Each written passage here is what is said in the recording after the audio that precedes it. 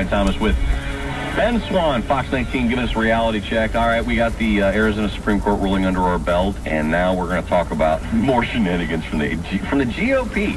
What is it this time? They're making me nuts. I know. Every time you come on, you got another d- situation where the GOP's playing I wish we fast just and loose. Yeah, just quit, you know. Uh, so I, I told you uh, a few months ago about um, the fact that in the state of Massachusetts, where they were electing delegates, one of the issues that happened was, you know, obviously it's Mitt Romney's stomping grounds, and so uh, there were a number of high-ranking GOP folks who expected to be uh, delegates going to Tampa, and that included uh, the, the GOP's latest um, guy who ran for governor. Uh, it included the former lieutenant governor who was lieutenant governor under Romney.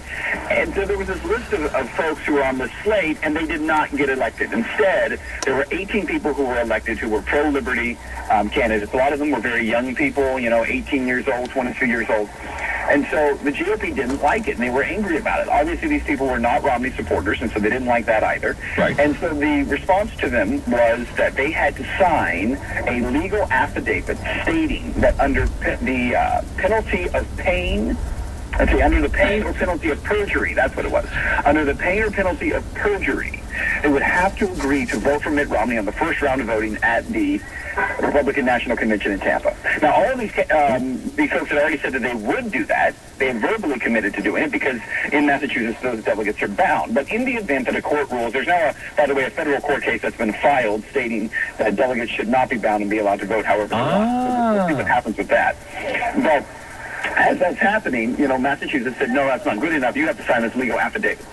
Again, not in any of the rules when any of these folks became delegates. This was not in the rules.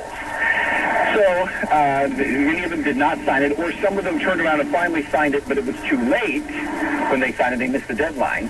And so the RNC this weekend decided to throw out all 18 of those No.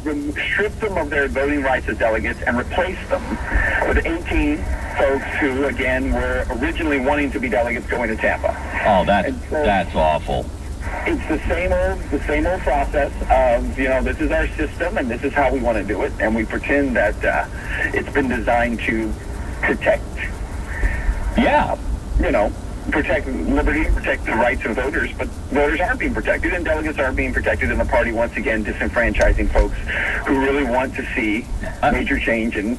Exactly. A major change within a party. If you have enough people that, that that are trying to shift the Republican Party over to something, oh, I would argue that is the right way to go, pro-liberty, a libertarian philosophy, which is embraced by more people than, uh, than I think folks realize. If they're doing the laboring war and they're out there getting the delegates and they're out there getting the votes and, and they're out putting the candidates on the slate that get elected, I would say you've got a fundamental shift going on and there's nothing you can do about it. But looking at machine politics, you got a Republican Party, you have the Democratic Party, and of course, this is the reason why we're pushing for reform all over the place.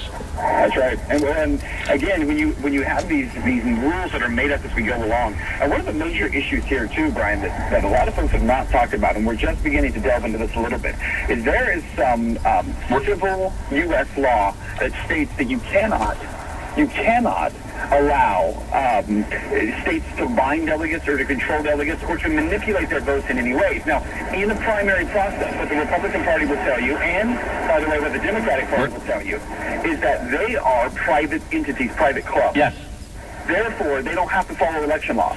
Well, That, that's actually not true. well, and, and you say, like you pointed out, Ben, because we're out of time, it is the subject of a court proceeding, and I suppose we will get a judicial ruling, and then it will be uh, very clear from that point on. Ben Swann, watch on Fox 19. As always, look forward to talking to you on Tuesday. Thanks again for the updates and the reports on shenanigans. It's happening all over.